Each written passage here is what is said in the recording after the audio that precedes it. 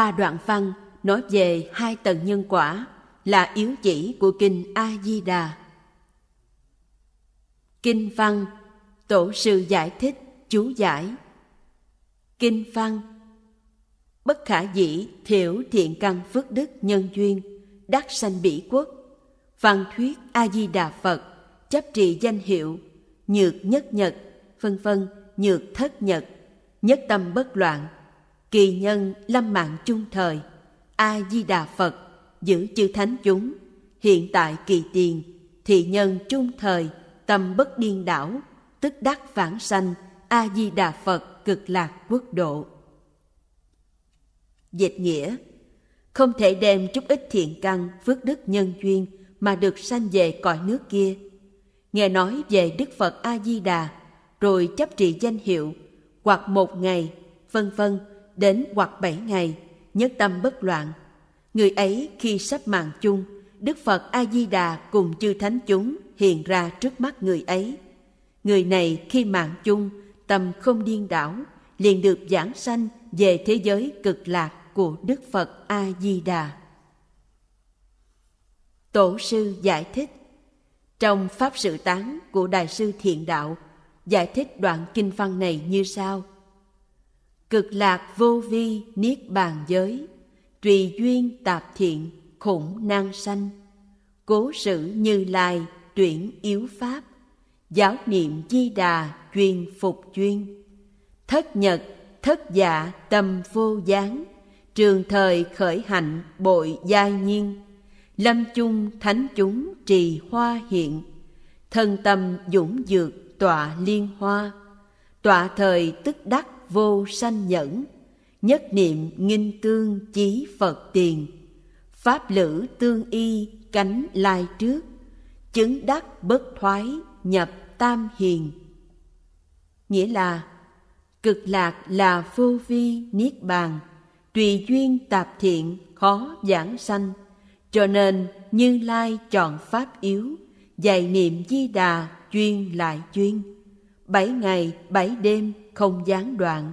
Hành trì lâu dài, gấp bội thêm. Lâm chung, thánh chúng mang hoa đến. Thân tâm hớn hở, ngồi tòa sen. Ngồi rồi, liền đắc vô sanh nhẫn. Một niệm liền sanh ở trước phật. Pháp lữ cùng nhau mang y đến, chứng được bất thoái nhập tam hiền. Chú giải không thể đem chút ít thiện căn phước đức nhân duyên mà được sanh về cõi nước kia đa số người ta đều cho rằng người tu hành cần phải phát tâm bồ đề rộng tu lục độ vạn hạnh, hành thiện tích đức, thì mới là đa thiện căn, đa phước đức, mà không biết rằng chỉ cần chấp trì danh hiệu tức là đa thiện căn, đa phước đức. Chấp trì danh hiệu nhất tâm bất loạn. Phần nhiều người ta thường đem quan điểm của Thánh Đạo Môn ra để xuyên tạc cái nghĩa chân thật nhất tâm bất loạn của pháp môn tịnh độ vốn là pháp môn đặc biệt. Họ cho rằng nhất tâm bất loạn nghĩa là người niệm Phật phải đạt đến công phu sâu dày, chứng nhập tam muội hoặc phục đoạn phiền não, mà họ không biết rằng chấp trì danh hiệu chính là tâm tin nhận di đà cứu độ, miệng xưng di đà danh hiệu. Nhất tâm nghĩa là không có hai tâm, không hai chính là chuyên. Bất loạn tức là không tạp loạn, không tạp loạn cũng là chuyên.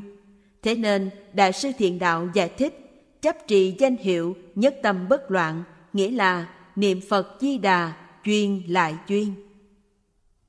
Cho nên bất luận người nào chỉ cần suốt đời hoặc một ngày hoặc bảy ngày cho đến mười niệm hoặc một niệm chuyên niệm danh hiệu A Di Đà Phật nguyện giảng sanh về thế giới cực lạc liền nhờ nguyện lực của Phật sẽ được vãng sanh rất dễ hiểu, dễ thực hành mà không mảy may có nghĩa huyền diệu gì khác. Người ấy khi mạng chung tâm không điên đảo. Đa số người ta đều cho rằng khi mạng chung nhất định phải tự mình giữ được chánh niệm, tâm không điên đảo mới có thể cảm được Đức Phật A Di Đà hiện ra trước mắt, tiếp dẫn giảng sanh, mà họ không biết rằng vì Phật hiện ra trước rồi mới được chánh niệm, chứ chẳng phải được chánh niệm rồi Phật mới hiện. Nghĩa là Đức Phật từ bi gia hộ khiến cho tâm ta không tán loạn, bởi vì bình sanh chuyên trì danh hiệu Phật, khi lâm chung Phật nhất định hiện ở trước. Vì Phật hiện ra rồi nên tự nhiên tâm được chánh niệm và không điên đảo. Hai tầng nhân quả này trong kinh văn vốn đã phân minh, tổ giải nghĩa càng thêm rõ ràng. Nếu tĩnh tâm suy nghĩ thì nghĩa ấy tự hiển hiện. Trích trong yếu chỉ của kinh A Di Đà trong Huệ Tịnh Pháp Sư giảng nghĩa. 7. Đối chiếu hai bản dịch kinh A Di Đà. Bản đối chiếu hai bản dịch kinh A Di Đà của Tam Tạng Pháp Sư Cưu Ma La Thập và bản của Tam Tạng Pháp Sư Huyền Trang. Pháp Sư Cưu Ma La Thập dịch là Kinh Phật Thuyết A Di Đà. Huyền Trang Pháp Sư dịch là Kinh Xưng Tán Tịnh Độ Phật Nhiếp Thọ. Điểm giống nhau, cả hai bản dịch đều dịch là xá lợi Phất. Trong Kinh Phật Thuyết A-di-đà, Pháp Sư Cưu Ma La Thập dịch là nếu có thiện nam tử, thiện nữ nhân. Trong Kinh Xưng Tán Tịnh Độ Phật Nhiếp Thọ, Pháp Sư Huyền Trang dịch là nếu các thiện nam tử hoặc thiện nữ nhân có niềm tin thanh tịnh. Pháp Sư Cưu Ma La Thập dịch nghe nói đến Đức Phật A Di Đà. Pháp sư Huyền Trang dịch là, được nghe công đức trang nghiêm của thế giới cực lạc và danh hiệu Đức Phật vô lượng thọ, có vô lượng, vô biên công đức, bất khả tư nghị như thế. Pháp sư Cưu Ma La Thập dịch là, chấp trì danh hiệu. Tam tạng Pháp sư Huyền Trang dịch là nghe rồi suy nghĩ. Pháp sư Kumala Thập dịch là hoặc một ngày, hoặc hai ngày, hoặc ba ngày, hoặc bốn ngày, hoặc năm ngày, hoặc sáu ngày, hoặc bảy ngày. Tam tạng Pháp sư huyền trang dịch là hoặc một ngày đêm, hoặc hai, hoặc ba, hoặc bốn, hoặc năm, hoặc sáu, hoặc bảy. Pháp sư Cưu Ma La Thập dịch, nhất tâm bất loạn. Tam tạng Pháp Sư Huyền Trang dịch là hệ niệm bất loạn. Pháp Sư Cưu Ma La Thập dịch là người ấy. Tam tạng Pháp Sư Huyền Trang dịch là thiện nam tử hoặc thiện nữ nhân ấy. Pháp Sư Cưu Ma La Thập dịch khi sắp mạng chung. Tam tạng Pháp Sư Huyền Trang dịch là khi sắp mạng chung giống nhau. Pháp sư Cưu Ma La Thập dịch Đức Phật A-di-đà cùng chư thánh chúng Tam tạng Pháp sư Huyền Trang dịch là Đức Phật vô lượng thọ cùng vô lượng đệ tử, thanh văn và chúng Bồ Tát câu hội. Pháp sư Cưu Ma La Thập dịch hiện ở trước mặt người ấy. Tam tạng Pháp sư Huyền Trang dịch là, trước sau vây quanh, đến đứng ở trước mặt người ấy. Pháp sư cừu ma la thập dịch, người ấy khi mạng chung, tâm không điên đảo. Tam tạng pháp sư huyền trang dịch, từ bi gia hộ khiến cho đã bỏ thân mạng rồi, tâm không điên đảo.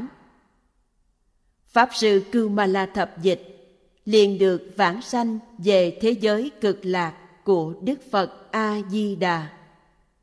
Tam Tạng Pháp Sư Huyền Trang dịch là Theo chúng hội của Đức Phật sanh về thế giới cực lạc thanh tịnh của Đức Phật vô lượng thọ. Bản dịch của Tam Tạng Pháp Sư Cưu Ma La Thập là dịch ý, nghĩa là dựa vào ý nghĩa tiếng Phạn mà dịch thành tiếng Hoa. Có đặc điểm thứ nhất thuận theo ngữ pháp tiếng Hoa. Thứ hai, thuận theo đặc tính đơn giản của người Trung Quốc. Thứ ba, nội dung tóm tắt, lời văn ngắn gọn. Còn bản dịch của Tam Tạng Pháp Sư Huyền Trang là dịch thẳng, nghĩa là dựa vào câu văn tiếng Phạn mà dịch thành tiếng Hoa. Có đặc điểm một Thuận theo ngữ pháp của tiếng Phạn hai không thuận theo đặc tính đơn giản của người Trung Quốc ba Nội dung tỉ mỉ, lời văn rườm rà Trích trong yếu chỉ của Kinh A-di-đà trong Huệ Tịnh Pháp Sư Giảng Nghĩa. chúng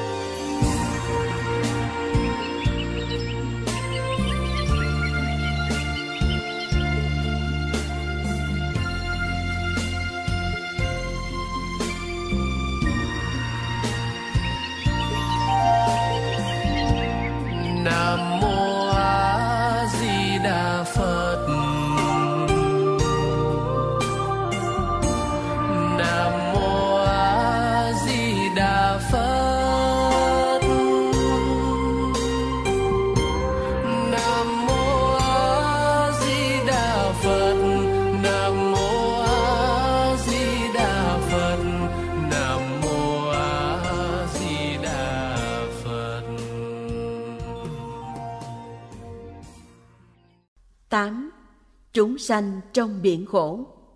Đại sư Đàm Loan là một người chân thật tu hành.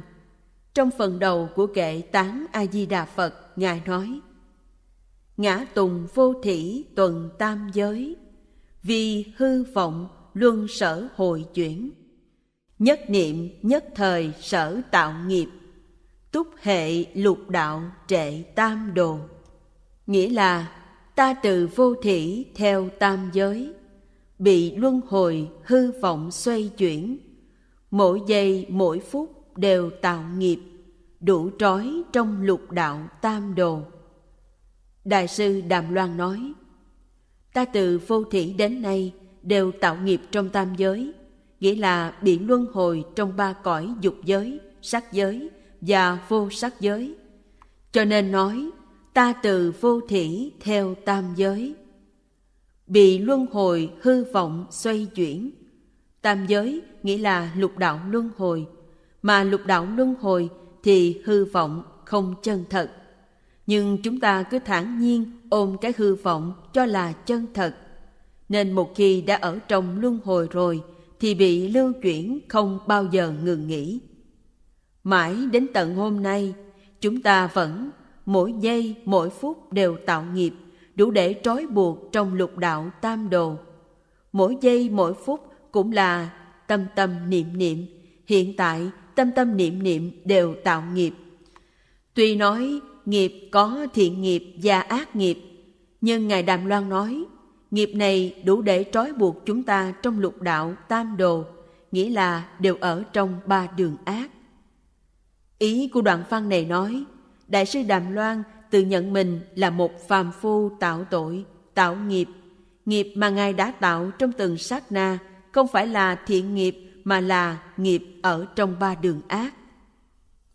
Đức Phật Thích Ca Mâu Ni nói, lục đạo là biển khổ. Biển này rõ ràng là không bờ cũng không đáy. Sự luân hồi trong lục đạo không có giới hạn, cũng không có kết thúc. Chúng ta thường trồi lên hộp xuống trong lục đạo Trồi lên nghĩa là ở trong biển này thỉnh thoảng chúng ta được sanh làm người, chợt nhô đầu lên trong khoảng mấy hơi thở rồi lại chìm xuống. Ngay cả Đại sư Đàm Loan cũng tự nhận mình là một chúng sanh trồi lên hụp xuống trong tam ác đạo. Huống chi chúng ta, Ngài sống vào thời Nam Bắc Triều, vua Lương Vũ Đế phải hướng đến Ngài đảnh lễ và tôn xưng Ngài là Bồ Tát Loan – vua của Bắc Triều, Bắc Ngụy thì tôn xưng Ngài là Thần Loan. Người như vậy mà tự nhận mình là một chúng sanh tội ác thì huống gì chúng ta? Chúng ta không có một chút năng lực, cơ hội nào để thoát khỏi lục đạo. Vì thế, nếu không có Đức Phật A-di-đà đã vì chúng ta mà phát ra điều nguyện thứ 18, thì chúng ta sẽ vĩnh viễn bị luân hồi trong lục đạo, không có ngày ra khỏi. Chúng sanh khởi tâm động niệm như thế nào? Kinh tịnh độ Bồ Tát nói Nhất nhân nhất nhật trung Bát ức tứ thiên niệm niệm niệm chi sở vi, giai thị tam đồ nghiệp, nghĩa là một người trong mỗi ngày tám vạn bốn nghìn niệm, hành vi trong mỗi niệm đều là nghiệp tam đồ. Mỗi người trong một ngày có bao nhiêu ý niệm? Có tám vạn bốn nghìn ý niệm. Đây không phải là con số mà là một thứ biểu pháp, cũng có nghĩa là vô lượng vô biên số ý niệm không thanh tịnh.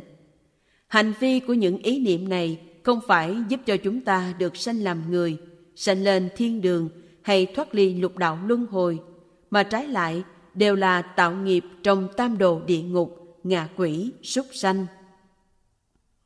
Tâm niệm của chúng ta rõ ràng là như vậy, nghĩ đến mà kinh hoàng, cho nên Kinh Địa Tạng nói, Nam Diêm Phù Đề chúng sanh cử chỉ động niệm, vô bất thị nghiệp, vô bất thị tội.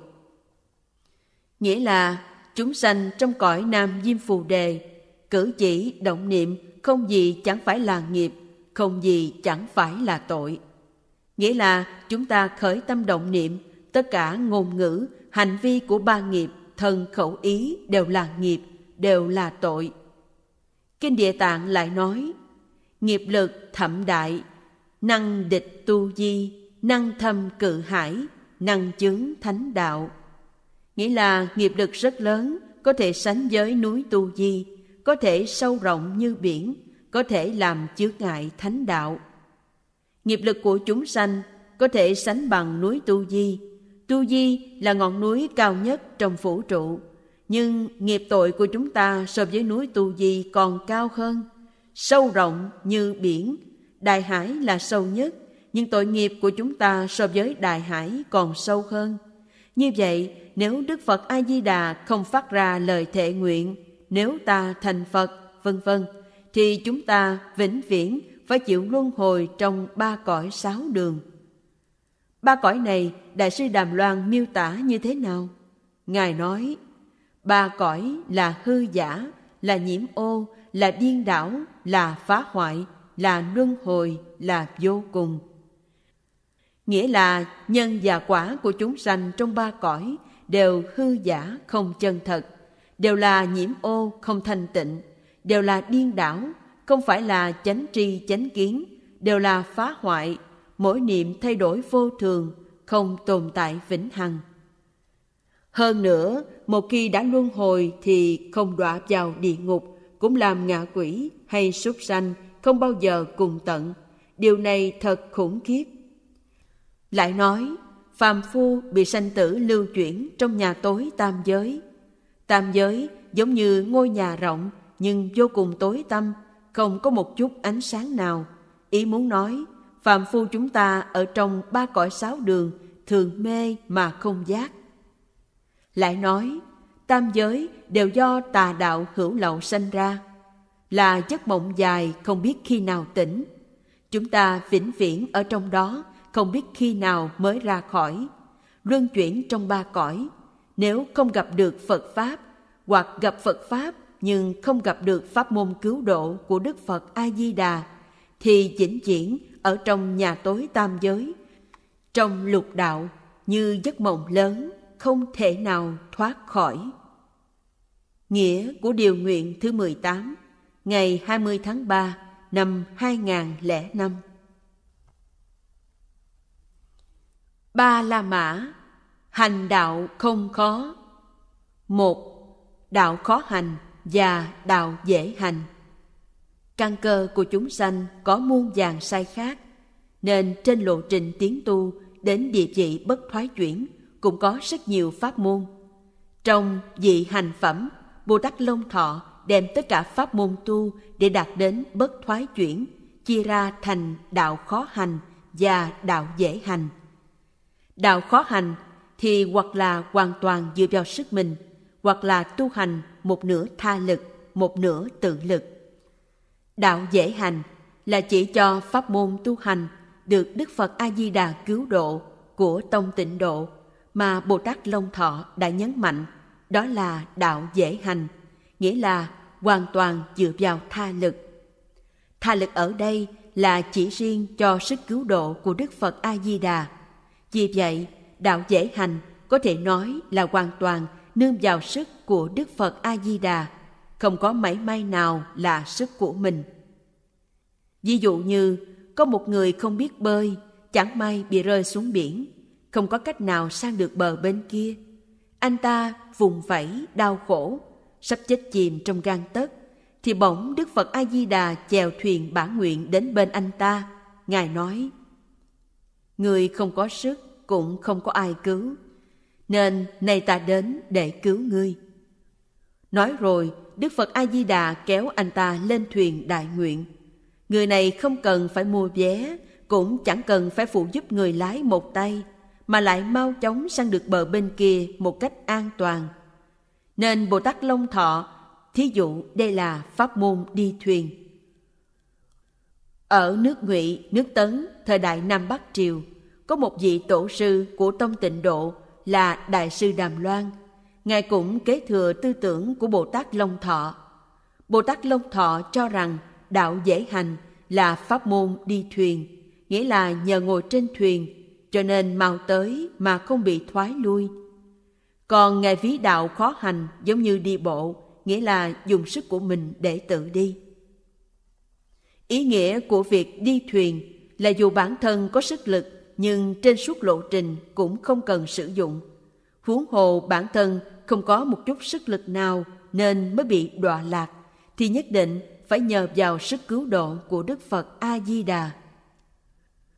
Nội dung chủ yếu của vị hành phẩm là hỏi đáp về đạo khó hành và đạo dễ hành.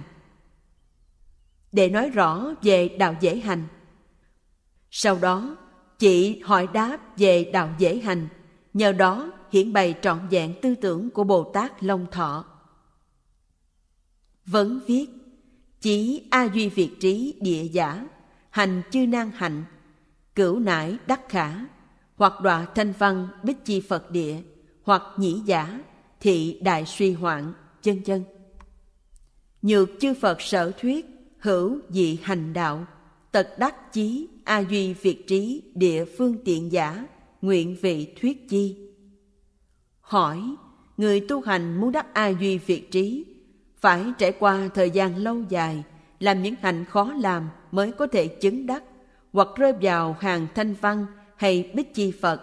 Nếu như vậy thì thật là một điều đáng lo lắng. Như chư phật đã dạy, có đạo dễ hành, là phương tiện mau chóng đắc a duy việt trí. Cuối xin ngài hãy chỉ dạy cho chúng con được biết. Phán định về hai đường khó và dễ trong Tình Huệ Pháp Sư Giảng Diễn, tập 1, trang 99 đến 101.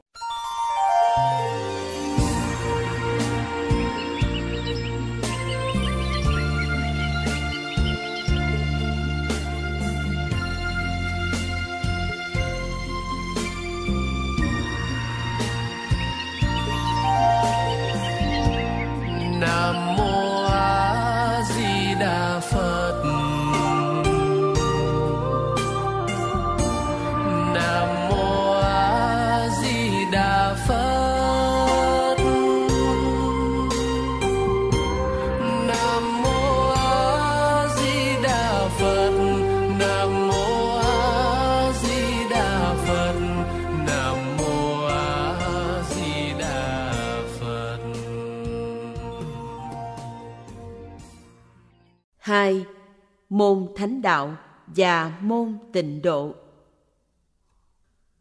Bồ Tát Long Thọ nói, Phật Pháp có vô lượng pháp môn. Lại nói, Bồ Tát Đạo cũng như vậy. Cho nên nói, Phật Pháp chính là Bồ Tát Đạo. Nhưng bất luận là Phật Pháp hay Bồ Tát Đạo, cũng đều có thể chia thành hai môn là đạo khó hành và đạo dễ hành. Nội dung của đạo khó hành giống như đi bằng chân trên đường bộ. Trên hành trình đi thì rất cực khổ, là nhiều, là lâu đến, là thoái tâm, nhất định phải siêng năng tinh tấn. Không những phải trải qua nhiều kiếp tu tập các thứ pháp môn, mà còn có thể bị thoái chuyển. Đặc biệt, đạo dễ hành thì không phải như vậy, giống như đi đường thủy, ngồi trên thuyền rất thoải mái, không những rất dễ đi mà lại mau đến. Là một và nhanh, là chắc chắn. Một nghĩa là chỉ cần chuyên nhất xưng niệm danh hiệu đức phật a di đà mà không cần phải nhờ vào các công đức khác để hồi hướng. Chỉ cần nhất hướng chuyên xưng a di đà phật là đủ rồi. Hơn nữa, kết quả lại nhanh chóng, thành tựu ngay trong hiện tại. Đồng thời, chắc chắn vãng sanh một trăm phần trăm không còn bị thoái chuyển. Bồ Tát Long Thọ đem toàn bộ giáo pháp của Đức Phật chia thành hai môn là đạo khó hành và đạo dễ hành. Đạo sư Đàm Loan tiến thêm một bước, phân tích thành tự lực và tha lực. Kế đến, đệ tử của Đại sư Đàm Loan là Đại sư Đạo Xước tiếp tục phân ra thành môn thánh đạo và môn tịnh độ. Đại sư Đạo Xước cho rằng môn thánh đạo nhất định phải thuộc căn cơ bậc thánh mới có thể tu hành. Còn môn tịnh độ thì không nhất định phải là căn cơ bậc thánh, mà chúng sanh chỉ cần tin nhận Di Đà cứu độ, chuyên xưng Di Đà Phật danh, nguyện sanh Di Đà tịnh độ, thì sẽ được vãng sanh về cõi tịnh độ của Đức Phật A Di Đà và thành Phật. Tóm lại, toàn bộ Phật Pháp có thể chia thành hai môn là môn thánh đạo và môn tịnh độ. Môn thánh đạo là đạo khó hành, nó thuộc về tự lực, chỉ căn cơ bậc thánh mới có thể tu được. Luận về tu hành là phải tu như thế nào? Nghĩa là giống như đi bộ, cho nên là khổ, là nhiều, là lâu, là thoái lui. Đã có thoái chuyển thì việc chứng quả bất định. Còn môn tịnh độ thì thế nào? Là đạo dễ hành, là tha lực, tất cả phàm phu đều có thể tu được. Nghĩa là nói tâm tin vào pháp môn cứu độ. Tin như thế nào? Tin vào pháp môn niệm Phật. Chuyên nhất niệm Phật thì giống như đi đường thủy nhờ thuyền, cho nên là vui, là duy nhất, là nhanh, là chắc chắn, mà vãng sanh quyết định. Môn thánh đạo và môn tịnh độ đều là Phật Pháp. Đạo khó hành và đạo dễ hành cũng là Phật Pháp. Tự lực và tha lực cũng đều là Phật Pháp. Cho nên chúng ta không thể nói rằng phải dũng mãnh tinh tấn tu hành mới là Phật Pháp. Còn ung dung thoải mái niệm Phật thì không phải là Phật Pháp. Quan niệm này không đúng. Thông thường, đa số tín đồ Phật giáo đều so sánh và sùng kính những bậc tu hành khổ hạnh. Họ cho rằng học Phật quý ở tu hành khổ hạnh. Cho nên, người có trải qua tu khổ hạnh mới được đại chúng tin phục. Còn các ông già bà lão là những người không biết chữ, chẳng qua chỉ mấp máy môi niệm Phật. Như thế thì có gì là quý? Thậm chí có người còn hoài nghi. Chẳng lẽ đây cũng là Phật Pháp ư? Đây chẳng những đương nhiên là Phật Pháp, mà còn là Phật Pháp giúp hành giả thành tựu Phật quả mau chóng nhất. Thế nhưng, lại có lắm người xem thường người niệm Phật. Họ cho rằng, ta là người có học vấn thế này, có thể thâm nhập kinh tạng. Tinh tấn thế kia, có thể học đủ các pháp môn. Chẳng lẽ ta lại giống như các ông già bà lão, suốt ngày chỉ niệm một câu Nam Mô A Di Đà Phật thôi sao? Chính vì có thiên chấp này nên mới sanh tâm kiêu mạn. Nếu tình trạng cứ như vậy thì như trong kinh vô lượng thọ nói, khó mà tin được pháp môn này. Phán định về hai đường khó và dễ trong Huệ Tịnh Pháp Sư Giảng Diễn tập 1 trang 139 đến 142. 3. Môn Thánh Đạo là giáo pháp tu hành tự lực. Môn thánh đạo là giáo pháp tu hành tự lực, hoàn toàn dựa vào khả năng và sức lực của mình, đời đời kiếp kiếp ở trong lục đạo không mất thân người. Tu hành lục độ vạn hạnh để chứng quả, nhưng giáo pháp này chỉ căn cơ bậc thánh mới có thể tu hành nổi, cho nên gọi là khó. Còn môn tịnh độ là giáo pháp tính tâm tha lực. Đời này, lúc này ở thế giới ta bà, nhất hướng niệm Phật, giảng sanh về tịnh độ cực lạc để chứng quả. Giáo pháp này phàm phu ai cũng tu được, cho nên gọi là dễ. Nói cách khác, nếu phải tu hành theo môn thánh đạo, thì trước hết bạn phải có đầy đủ căn cơ của bậc thánh. Phải xác định được mục tiêu trọng yếu. Nếu đời này bạn không thể thành tựu đạo nghiệp, thì cũng phải được thân người trở lại. Hơn nữa, phải có nhân duyên liên tục. Nếu cả đời bạn không thành tựu đạo nghiệp, thì vẫn phải tiếp tục tu hành, phải có bản lĩnh như thế. Nếu không thì miễn bàn, bởi vì chính bạn cũng không biết đời này bạn sẽ đi đâu. Nhưng thường thường chạy không thoát cái gọi là tam thế oán, nghĩa là đời này bạn học Phật, bố thí, tích lũy rất nhiều công đức, đời sau được hưởng thụ phú quý. Nhưng trong khi hưởng lạc, bất tri bất giác tạo ác, đời thứ ba sẽ đọa lạc. Vì vậy, Đức Phật Thích Ca Mâu Ni thuyết pháp dạy chúng ta hành thiện tích đức, không phải để cầu sanh lên trời hay làm người hưởng phước. Hoàn toàn không phải như vậy. Ngài dạy chúng ta phải hồi hướng khi lâm chung được giảng sanh về thế giới cực lạc. Phán định về hai đường khó và dễ trong Huệ Tịnh Pháp Sư giảng diễn tập 1 trang 143 144 4. Môn tịnh độ là giáo pháp tính tâm tha lực. Môn thánh đạo và môn tịnh độ không giống nhau. Môn tịnh độ là giáo pháp tính tâm tha lực, là chỉ cho nguyện lực của Đức Phật A-di-đà. Tính nghĩa là tin sự thật tồn tại một cách khách quan. Vì nếu không có sự thật tồn tại khách quan bên ngoài, thì tín ngưỡng của chúng ta chỉ là trống rỗng, chỉ là nói suông. Sự tồn tại của thế giới cực lạc và Đức Phật A-di-đà là sự thật khách quan mà Đức Phật Thích Ca bảo chứng cho chúng ta. Vì thế, sự tồn tại của Đức Phật A-di-đà là căn nguyên tính tâm của chúng ta. Chúng ta chỉ cần tin lời Phật nói, không cần phải tính toán hay đắn đo gì. Tự nhiên, thật thà tin tưởng, không nghi ngờ, không lo lắng, lập tức tiếp nhận được sự cứu độ của Đức Phật A-di-đà. Như trăng sáng trên bầu trời chiếu xuống nước thì có bóng trăng hiện ra. Bóng trăng không phải do nước sanh ra. Chỉ cần có trăng thì mặt nước ảnh hiện ra bóng trăng. Không phải nhờ phương tiện mới sanh. Hồ to cũng được, chén nhỏ cũng được. Chỉ e rằng bạn lấy nắp vung mà che các đồ đựng nước lại. Bằng không thì chẳng có gì phải bàn. Nhìn dòng sông có nước thì nghìn dòng sông đều có bóng trăng. Cũng vậy, chỉ cần chúng ta bằng lòng tiếp nhận sự cứu độ của Đức Phật A Di Đà thì trong tâm mỗi người đều có công đức của Ngài. Đức Phật A Di Đà ở cùng một chỗ với chúng ta, cùng ra, cùng vào, cùng ngủ, cùng thức, cùng công tác và mãi mãi bảo hộ chúng ta. Thế nhưng nếu chúng ta đem tâm thủy của mình che kín lại, hoài nghi, làm gì có Đức Phật A Di Đà, làm gì có thế giới cực lạc? Đâu có chuyện dễ dàng như thế. Thiên hạ đâu có chuyện ăn bánh không phải trả tiền. Nói những lời như vậy là tự đánh mất lợi ích lớn.